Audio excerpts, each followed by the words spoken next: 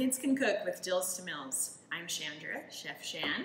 This is Blake and Isaac, and we're here today to talk about the incredible edible egg. We're gonna teach kids today a lot of different recipes they can make with a simple ingredient such as an egg. These boys, one of their favorite breakfasts in the morning to make with eggs is what?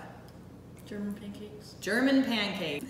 The German pancake is a super fun pancake if you've never made them before. It's super simple. It cooks in a 9 by 13 pan and the edges just rise up and become this big puffy pancake. So it's really fun to watch it cook in the oven. And then you just slice it up and have it for breakfast, put syrup on it. Today we're gonna make a caramel apple sauce that's super yummy to go on top of the German pancakes. So come have an excellent time and get cooking with us.